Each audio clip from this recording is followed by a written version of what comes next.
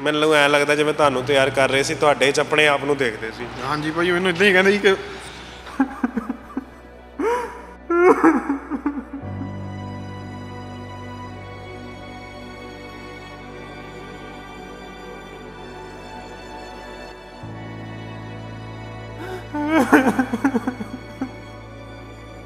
ਮੈਂ ਮੇਰੇ ਚ ਆਪ ਆਪ ਦੀ ਦੁਆਰੇ ਕਬੱਡੀ ਖੇਡਣਾ ਚਾਹੁੰਦਾ ਸੀ ਵੀਰੇ।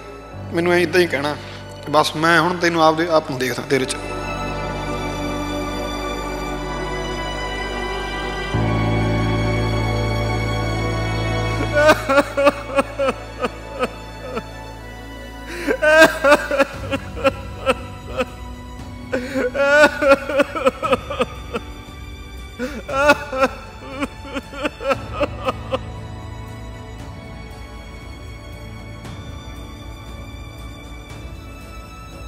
ਕੱਲ ਇੱਕ ਖਬਰ ਆਈ ਜਿਸ ਨੇ ਪੂਰੇ ਪੰਜਾਬ ਨੂੰ ਹਿਲਾ ਕੇ ਰੱਖ ਦਿੱਤਾ।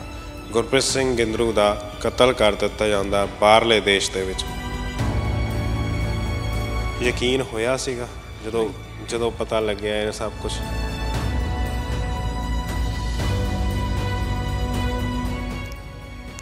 ਨਹੀਂ ਯਕੀਨ ਹੁੰਦਾ ਨਹੀਂ।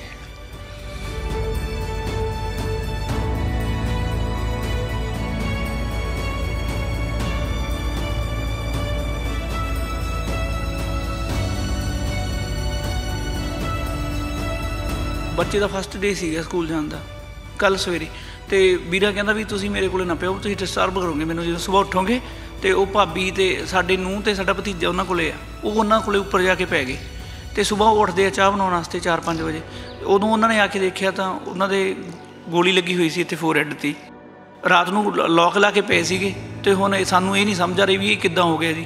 ਜਦੋਂ ਕਬੱਡੀ ਨਾਲ ਗੱਲ ਜੁੜਦੀ ਹੈ ਤਾਂ ਬਹੁਤ ਕੁਝ ਗੈਂਗਸ ਵੀ ਆ ਜਾਂਦੇ ਆ ਬਹੁਤ ਲੀਗਸ ਵੀ ਆ ਜਾਂਦੀਆਂ ਸਭ ਕੁਝ ਆ ਜਾਂਦਾ। ਤਾਂ ਇਹ ਵੀ ਦੱਸੋ ਵੀ ਕੀ ਕਬੱਡੀ ਨਾਲ ਉਹਨਾਂ ਦਾ ਲਿੰਕ ਸੀਗਾ ਜਾਂ ਹੁਣ ਲਿੰਕ ਟੁੱਟ ਚੁੱਕਾ ਆਇਆ ਸੀ? ਨਹੀਂ ਹੁਣ 8 ਸਾਲ ਹੋ ਗਏ ਸੀ ਜੀ ਉਹਨਾਂ ਨੂੰ ਕਬੱਡੀ ਛੱਡੀ ਨੂੰ। ਫਿਰ ਉਹ ਕੋਚਿੰਗ ਕਰਦੇ ਸੀਗੇ ਤੇ 7-8 ਸਾਲ ਹੋ ਗਏ ਸੀ ਉਹਨੂੰ ਕੋਚਿੰਗ ਵੀ ਛੱਡੀ ਨੂੰ। ਹੁਣ ਉਹ- ਉਹਨਾਂ ਦਾ ਕੋਈ ਲਿੰਕ ਨਹੀਂ ਸੀਗਾ ਜੀ ਕਬੱਡੀ ਨਾਲ। ਇਸ ਕੰਮ ਨਾਲ ਕੋਈ ਲਿੰਕ ਨਹੀਂ ਗਲਤ ਜੋੜਿਆ ਜਾ ਰਿਹਾ। ਹਾਂ ਉਹ ਤਾਂ ਕਬੱਡੀ ਛੱਡ ਚੁੱਕੇ ਆ 7-8 ਸਾਲ ਦੇ।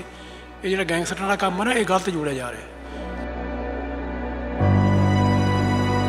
ਕਈ ਵਾਰੀ ਐ ਨਹੀਂ ਲੱਗਦਾ ਵੀ ਇਹੋ ਜਿਹੀਆਂ ਖਬਰਾਂ ਅਸੀਂ ਵੀ ਜਦੋਂ ਜਾਂਦੇ ਆ ਕਿਸ ਦੇ ਘਰੇ ਜਾ ਕੇ ਜਿਹਦੀ ਡੈਥ ਹੋਈ ਹੁੰਦੀ ਹੈ ਕਵਰੇਜ ਕਰਨੀ ਵੀ ਬੜੀ ਔਖੀ ਹੁੰਦੀ ਆ, ਪਰ ਸਵਾ, ਜ਼ਰੂਰ ਆਵਾਜ਼ ਪਹੁੰਚਾਉਣੀ ਜ਼ਰੂਰੀ ਆ। ਪਰ ਐ ਨਹੀਂ ਲੱਗਦਾ ਵੀ ਪੰਜਾਬ ਨੂੰ ਨਜ਼ਰ ਲੱਗ ਗਈ ਆ। ਸੰਦੀਪ ਨੰਗਲੰਬੀਆਂ ਦਾ ਕਤਲ ਹੋ ਗਿਆ। ਫਿਰ ਦੀਪ ਸਿੱਧੂ ਦਾ ਵੀ ਕਤਲ ਹੀ ਹੋਇਆ ਜੀ, ਉਹ ਆਪਾਂ ਕੁਝ ਕਹਿ ਲਈ ਐਕਸੀਡੈਂਟ ਕਹਿ ਦਿੰਦੇ ਆ ਉਹਨੂੰ। ਫਿਰ ਸਿੱਧੂ ਮੂਸੇਵਾਲਾ ਦੇਖ ਲਓ ਜੀ, ਇਨਸਾਫ ਤਾਂ ਆਪਾਂ ਨੂੰ ਨਾ ਇੱਥੇ ਮਿਲ ਰਿਹਾ ਜੀ, ਕਿਤੇ ਕਿਸੇ ਕੋਈ ਜਗ੍ਹਾ ਹੀ ਹੈ ਨਹੀਂ ਜਿੱਥੋਂ ਇਨਸਾਫ ਮਿਲੇ। ਸੰਭਾਲਣਾ ਔਖਾ ਹੋ ਜਾਂਦਾ। ਬਹੁਤ ਡੂੰਗੀ ਸੱਟ ਵੱਜਦੀ ਹੈ ਕੋ ਬੈਠੇ ਆ, ਕਈ ਸਾਲ ਹੋ ਗਏ ਮੰਜੇ 'ਚ ਹੀ ਬੈਠੇ ਆ। ਸਰੀਰ ਬੋਝਲ ਹੈ। ਡੂੰਗੀ ਸੱਟ ਬਹੁਤ ਵੱਜਦੀ ਹੈ।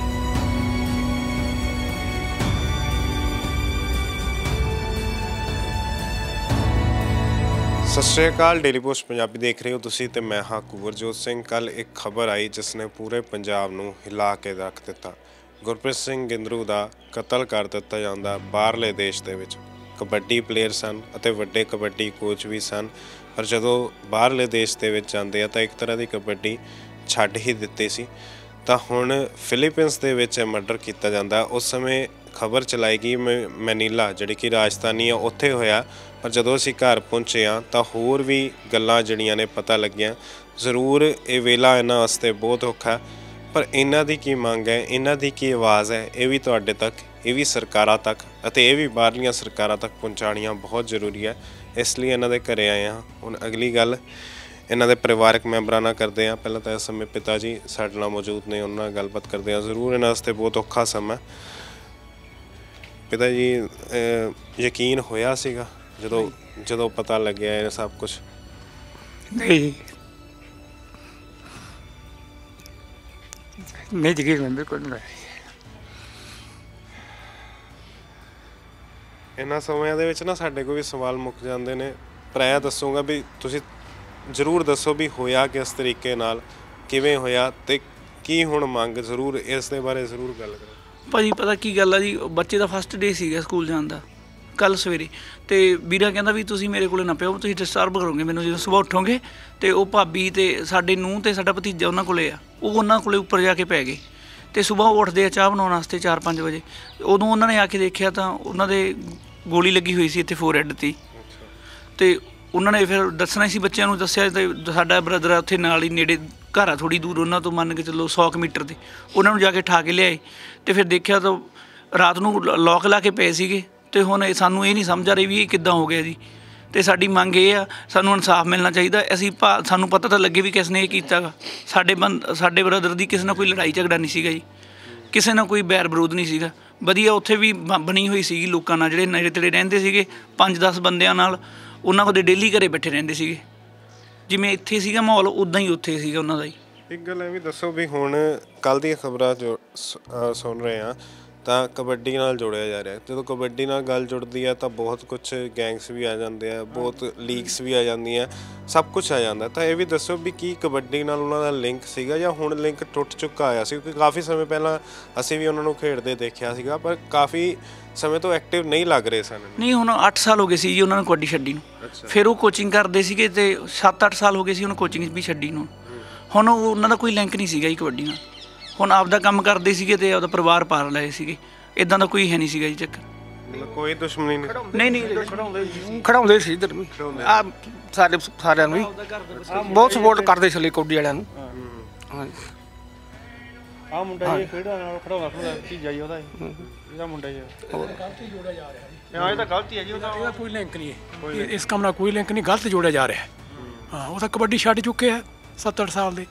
ਇਹ ਜਿਹੜਾ ਗੈਂਗਸਟਰਾਂ ਦਾ ਕੰਮ ਹੈ ਨਾ ਇਹ ਗਲਤ ਜੋੜਿਆ ਜਾ ਰਿਹਾ ਹੈ। ਬਾਈ ਜੀ ਮੈਨੂੰ ਐ ਲੱਗਦਾ ਜਿਵੇਂ ਤੁਹਾਨੂੰ ਤਿਆਰ ਕਰ ਰਹੇ ਸੀ ਤੁਹਾਡੇ ਚ ਆਪਣੇ ਆਪ ਨੂੰ ਦੇਖਦੇ ਸੀ ਹਾਂਜੀ ਭਾਈ ਮੈਨੂੰ ਇਦਾਂ ਹੀ ਕਹਿੰਦੇ ਸੀ ਕਿ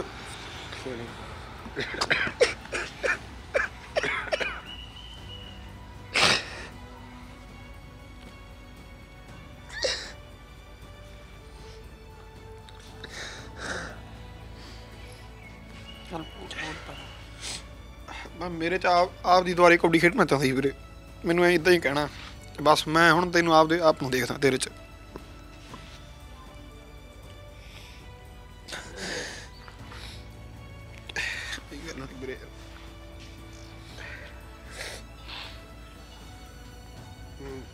ਬਾਈ ਜੀ ਸ਼ਹਿਰ ਲੋਕਾਂ ਨੂੰ ਬੜੀ ਕਨਫਿਊਜ਼ਨ ਸੀ। ਕੱਲ ਦੇ ਮਨੀਲਾ ਸੁਣ ਰਹੇ ਆ। ਅਸਲ ਦੇ ਵਿੱਚ ਕਿੱਥੇ ਰਹਿ ਰਹੇ ਸੀ? ਇਲੂ ਇਲੂ ਸਿਟੀ ਹੈ ਜੀ ਉੱਥੇ। ਕਸਬਾ ਹੈਗਾ ਛੋਟਾ ਜਿਹਾ। ਉਹ ਉਸ ਜਗ੍ਹਾ ਰਹਿ ਰਹੀ ਸੀ ਇਲੂ ਇਲੂ ਸਾਡੀ ਸਾਰੀ ਫੈਮਿਲੀ ਉੱਥੇ ਹੈ ਜੀ ਸਾਡੀਆਂ ਭੂਆ ਵੀ ਉੱਥੇ ਆ ਸਾਡੇ ਬ੍ਰਦਰ ਵੀ ਉੱਥੇ ਦੂਜੇ ਵੀ ਨਾਲ ਉੱਥੇ ਹੀ ਆ। ਸਾਡੇ ਹੈਗੇ ਆ ਜੀ 10-15 ਪਰਿਵਾਰ ਉੱਥੇ। ਆ ਸਾਡੇ ਤਾਇਆ ਜੀ ਆ ਇਹਨਾਂ ਦਾ ਬੇਟਾ ਵੀ ਉੱਥੇ- ਉਸੇ ਜਗ੍ਹਾ ਹੀ ਹੈ ਜੀ। ਮੈਂ ਜਾ ਕੇ ਆਇਆ ਜੀ ਉੱਥੇ। ਕੋਈ ਤਾਂ ਇੱਕ ਹੈ ਵੀ ਮਨੀਲਾ ਤੋਂ ਤਾਂ 45 ਮਿੰਟ ਦਾ ਬਾਈ 에ਅਰ ਰਸਤਾ ਹੈ। 45 ਮਿੰਟ ਲੱਗਦੇ ਆ ਮਨੀਲਾ ਤੋਂ ਦੇਖ ਕਿੰਨੇ ਕਿਲੋਮੀਟਰ ਕੱਢਦਾ ਹੋ ਜਹਾਜ਼। ਹਾਂ 45 ਮਿੰਟ ਦਾ ਰਸਤਾ ਤਾਂ ਜਾਂ ਬਾਈ ਸ਼ਿਪ ਜਾਣਾ ਪੈਂਦਾ ਜਾਂ ਬਾਈ 에ਅਰ ਜਾਣਾ ਪੈਂਦਾ। ਸ਼ਿਪ ਤੇ ਜ਼ਿਆਦਾ ਟਾਈਮ ਲੱਗਦਾ। ਇਹ ਤਾਂ ਆਪਣੇ ਲੋਕ ਤਾਂ ਫਿਲਪਾਈਨ ਦਾ ਨਾਮ ਨਹੀਂ ਲੈਂਦੇ ਇਹ ਤਾਂ ਮਨੀਲਾ ਹੀ ਕਹਿੰਦੇ ਮਨੀਲਾ। ਮਨੀਲਾ ਦਾ ਰਾਜਧਾਨੀ ਹੈ ਫਿਲਪਾਈਨ ਦੀ। ਹਾਂ ਇਹ ਇਲੋ ਇਲੋ ਸ਼ਹਿਰ ਹੈ।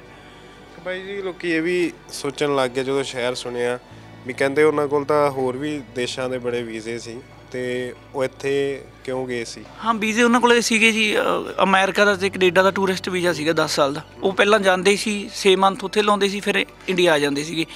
ਜਿਹੜੀ ਉਹਨਾਂ ਦੇ ਉਹ ਘਰ ਜਮਾਈ ਰਹਿ ਰਹੇ ਸੀਗੇ ਕਟਾਣੀ ਕਲਾਂ ਜੀ। ਉਹਨਾਂ ਦੀ ਸੱਸ ਦੀ ਡੈਥ ਹੋ ਗਈ ਅੱਜ ਤੋਂ 4 ਸਾਲ ਪਹਿਲਾਂ ਹੀ। ਫਿਰ ਉਹਨਾਂ ਦਾ ਕਰਕੇ ਵੀ ਭਾਬੀ ਦਾ ਤੇ ਬੱਚੇ ਦਾ ਔਖਾ ਸੀਗਾ। ਉਹਨਾਂ ਨੂੰ ਸੈਟਲ ਕਰਨ ਦੇ ਕਰਕੇ ਮਨੀਲਾ ਗਏ ਸੀ ਵੀ ਚਲੋ ਉੱਥੋਂ ਬਾਅਦ ਚ ਕੈਨੇਡਾ ਚਲੇ ਜਾਵਾਂਗੇ। ਕਿਉਂਕਿ ਉਹਨਾਂ ਦਾ ਕੈਨੇਡਾ ਦਾ ਲੱਗ ਨਹੀਂ ਰਿਹਾ ਸੀਗਾ ਜੀ। ਉਹਦਾ ਵੀਜ਼ਾ ਨਹੀਂ ਸੀ ਲੱਗ ਰਿਹਾ ਜੀ ਫਾਈਲ ਤਾਂ ਆਈ ਸੀ। ਉਹ ਇਸੇ ਲਈ ਉੱਥੇ ਉਹਨਾਂ ਨੂੰ ਉਹਨਾਂ ਨੂੰ ਸੈਟਲ ਕਰਨ ਦੇ ਮਾਰੇ ਕਿਉਂਕਿ ਬੱਚਿਆਂ ਦਾ ਰਹਿਣਾ ਇੱਥੇ ਵੀ ਔਖਾ ਸੀ ਜੀ। ਤੇ ਫਿਰ ਉਹਨਾਂ ਨੂੰ ਆਖਿਆ ਵੀ ਕੋਲੇ ਰੱਖਣ ਦੇ ਮਾਰੇ ਨੀਲਾ ਚਲੇ ਗਏ ਜੀ। ਬਾਈ ਮੈਂ ਤੁਹਾਡੇ ਕੋਲ ਵੈਸੇ ਵੀ ਗੱਲ ਆ ਜਾਂਦੀ ਆ ਵੀ ਇਹੋ ਜਿਹੇ ਸਮੇਂ ਦੇ ਵਿੱਚ ਸਵਾਲ ਵੀ ਪੁੱਛਣੇ ਬੜੇ ਔਖੇ ਹੋ ਜਾਂਦੇ ਆ।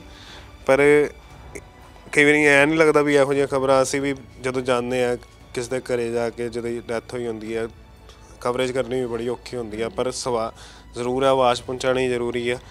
ਪਰ ਐ ਨਹੀਂ ਲੱਗਦਾ ਵੀ ਪੰਜਾਬ ਨੂੰ ਨਜ਼ਰ ਲੱਗ ਗਈ ਆ। ਹਾਂਜੀ, ਨਜ਼ਰ ਹੀ ਲੱਗੀ ਹੋਈ ਹੈ ਜੀ। ਇਦੋਂ ਪਹਿਲਾਂ ਸੰਦੀਪ ਨੰਗਲੰਬੀਆਂ ਦਾ ਕਤਲ ਹੋ ਗਿਆ। ਫਿਰ ਦੀਪ ਸਿੱਧੂ ਦਾ ਵੀ ਕਤਲ ਹੀ ਹੋਇਆ ਜੀ। ਉਹ ਆਪਾਂ ਕੁਝ ਕਹਿ ਲਈ ਐਕਸੀਡੈਂਟ ਕਹਿ ਦਿੰਦੇ ਆ ਉਹਨੂੰ। ਫਿਰ ਸਿੱਧੂ ਮੂਸੇਵਾਲਾ ਦੇਖ ਲਓ ਜੀ। ਇਨਸਾਫ ਤਾਂ ਆਪਾਂ ਨੂੰ ਨਾ ਇੱਥੇ ਮਿਲ ਰਿਹਾ ਜੀ। ਕਿਤੇ, ਕਿਸੇ ਕੋਈ ਜਗ੍ਹਾ ਹੀ ਹੈ ਨਹੀਂ ਜਿੱਥੋਂ ਇਨਸਾਫ ਮਿਲੇ। ਲੱਗੀ ਤਾਂ ਨਜ਼ਰ ਹੀ ਹੋਈ ਹੈ ਜੀ। ਹੋਰ 5-10 ਸਾਲ 'ਚ ਪੰਜਾਬ ਨੇ ਖਤਮ ਹੋ ਜਾਣਾ ਜੀ।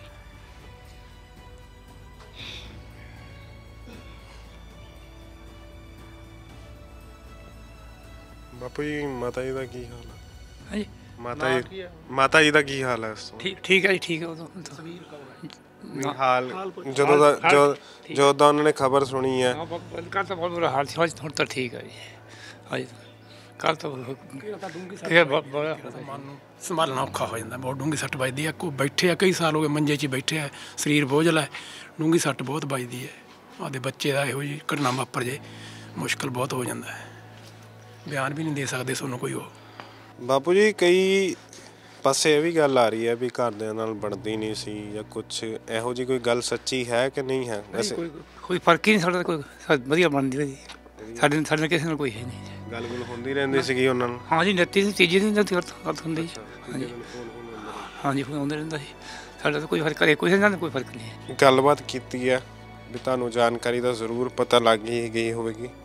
ਅਸੀਂ ਵੀ ਜ਼ਿਆਦਾ ਨਹੀਂ ਇਹਨਾਂ ਨੂੰ ਬੁਲਵਾਉਣਾ ਚਾਹੁੰਦੇ। ਸੋ ਇਹ ਸੀਗੀ ਅੱਜ ਦੀ ਖਬਰ। ਵਧੇਰੀ ਖਬਰਾਂ ਲਈ ਜ਼ਰੂਰ ਡੇਲੀ ਪੋਸਟ ਦੇ ਨਾਲ। ਕੈਮਰਾ ਪਰਸਨ ਅਮਿਤ ਦੇ ਨਾਲ। ਮੇਰੇ ਸਹਿਯੋ- ਸਹਿਯੋਗੀ ਹੈਪੀ ਗਰੇਵਾਲ ਦੇ ਨਾਲ। ਕੁਵਰਜੋਤ ਸਿੰਘ ਦੀ ਰਿਪੋਰਟ।